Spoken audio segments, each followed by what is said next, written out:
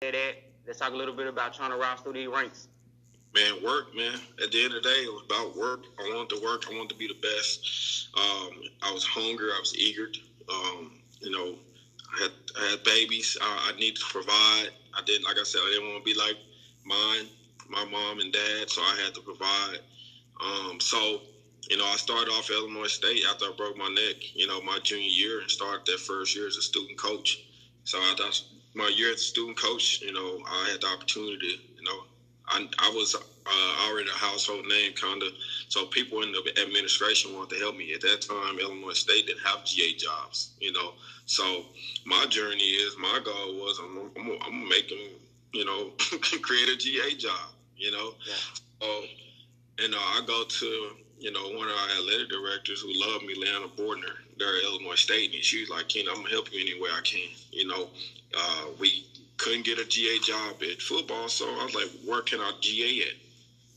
So we got a GA job for me in the academic uh, department. So I was an academic advisor and basically GA for football.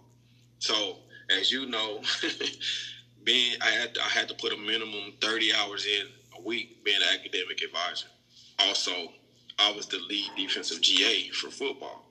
As you know, that's breaking down the film. That's the, everything under the moon. So you talking about getting in early 5:36 a.m. before I got to go to work to the to to um, academic advisement.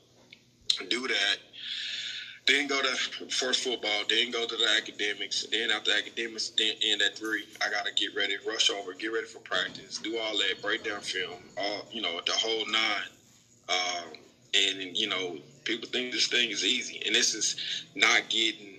You know, the first year, not really getting paid. You know, you're you're at a GA, you're probably getting eight hundred dollars maybe um, a month, and that's before taxes. You know, so you're doing that, busting your butt for you know for seven hundred dollars a month. You know, so doing that, and then having to go to class. You know, you